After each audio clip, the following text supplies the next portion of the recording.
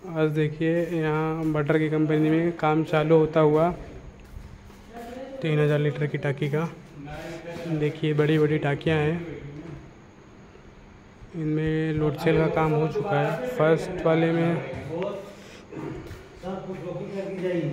And second वाले में पूरा काम हो चुका है। आप नीचे से देख सकते हैं इसमें।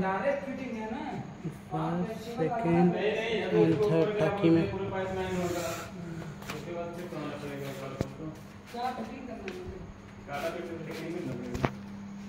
इंस्टॉल का काम चालू।